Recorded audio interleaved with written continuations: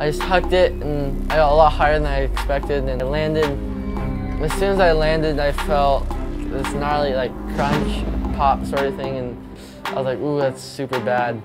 I was like, all right, well, I just broke my leg.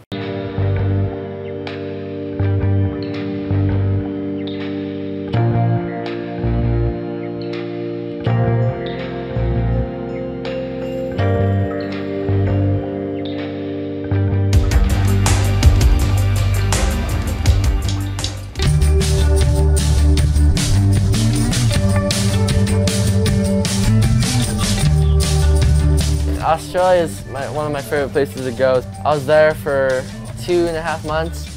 Yeah, I was definitely putting my time in out there and doing a couple contests. I got second at Merewether. Just a good experience overall and I was making the most of it over there and I was serving with Leo and them, so it's always good to get some good waves.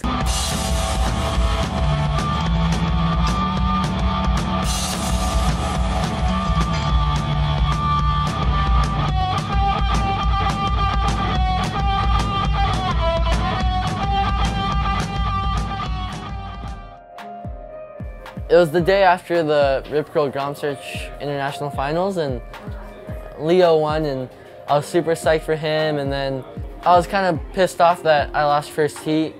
He went on to win. Like I was so psyched for him to win, but I was just pissed off that I couldn't do any better. And I was having a pretty good surf and I got a left. It was just a perfect air section. I just hucked it and I got a lot higher than I expected and landed. As soon as I landed, I felt this gnarly like crunch, pop sort of thing, and I was like, ooh, that's super bad. I was like, all right, well, I just broke my leg. I felt the bones like grinding against each other. It was just the weirdest, bizarre feeling. I felt it through my whole body, like in my ears and stuff.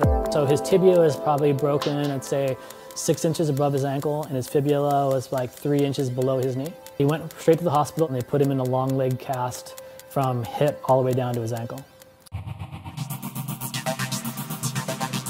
We use these things called power plates. Um, that's a vibrational device that we can actually have him stand on. Um, bone remodels under stress, and so getting that bone to be stressed was the first thing we wanted him to do. We wanted him to put weight on it. We wanted him to, to start balancing himself on that, on that limb. Yeah, well, we use the laser. Um, we use a laser, electrical stim, ultrasound. All those are just healing properties. Um, they bring blood flow. They actually help um, healing at a cellular level.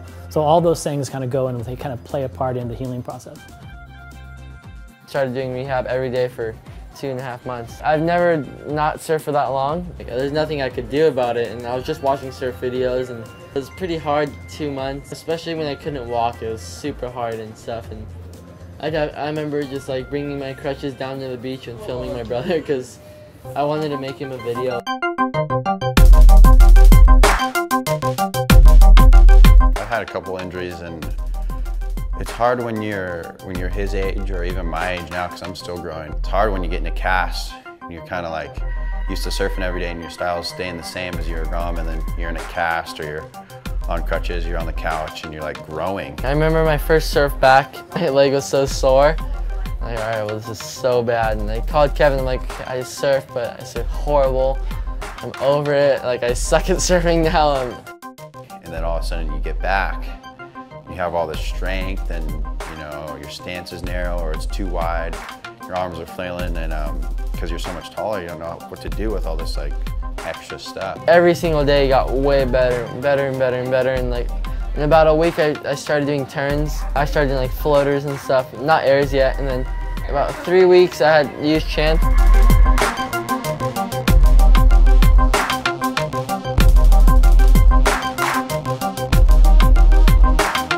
I got to learn about a lot about my body and I honestly think it was almost a good thing to get injured and to be able to not take serving for granted. And I mean, initially I think they're calling four to six months, what they're saying his rehab's gonna be.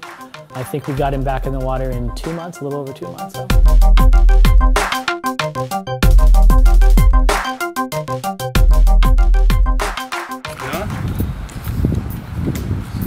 an angry person.